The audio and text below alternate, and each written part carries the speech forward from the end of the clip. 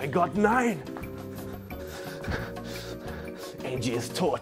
Das ist auch kein Wunder, der Harlem Shake hat sie ganz schön mitgenommen und YouTube hat sie getötet. Aber das ist ja nicht so schlimm. In Zeiten vom Web 2.0 sind die Medien ja ziemlich schnelllebig.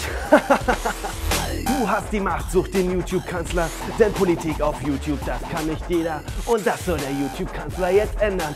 Ihr seid das Sprachrohr der jungen Leute. Ob Slapstick, animierte Comics oder harter Polit-Talk. Gibt der leblosen Politik einfach mal ein Shake. Bewerb dich jetzt mit deinem Wahlwerbespot und überzeug uns in maximal 100 Sekunden, dass du der absolute und vor allen Dingen erste YouTube-Kanzler bist.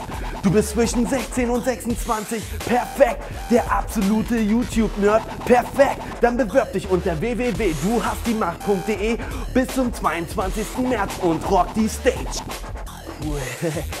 Was macht ihr denn hier? Ach, ihr wollt bestimmt noch wissen, was es zu klauen, äh, ich meine zu gewinnen gibt. Und zwar eine Canon 5D, wenn das mal nichts ist für euren professionellen YouTube-Channel. Also rock on. Yes, you canceler.